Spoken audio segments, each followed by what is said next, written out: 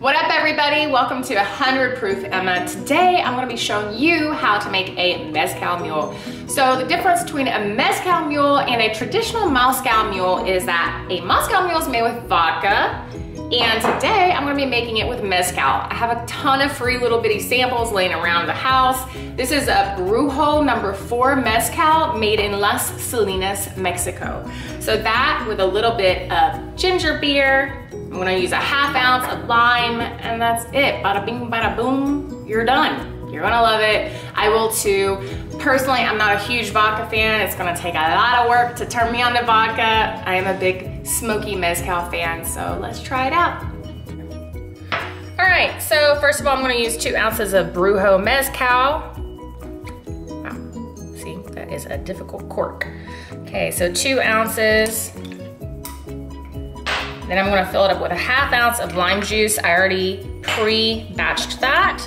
And I'm gonna top it off with ginger beer. Traditionally, you'd wanna do two ounces mezcal or vodka, a half ounce of lime juice, four ounces of ginger. Um, liquor doesn't affect me as much as it does most people.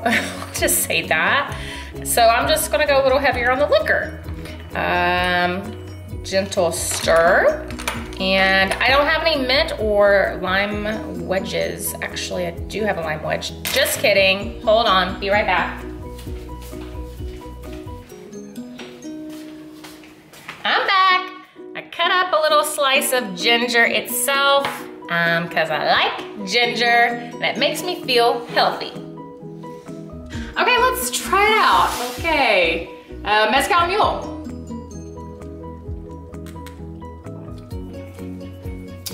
Wow! I'm liking that punch, baby. Man, that's some good stuff. Yeah, definitely a lot more character than it would have been had I have used um, traditional vodka. Uh, ginger beer really seems to like mellow the mezcal out a little bit, which is good because mezcal can be a little overwhelming. You have to be super careful whenever you choose that. Um, this is a little bit harder to find mezcal. Just to use a basic mezcal. You can find it at pretty much any liquor store or vodka. Um, I use the San Pellegrino ginger beer. I'm a big fan of San Pellegrino. And like I said, my neighbor's limes had no idea that I was taking their limes until I see this video, but thank you so much, guys. You've been great at giving me all your produce all year. Okay, cheers, love you, bye.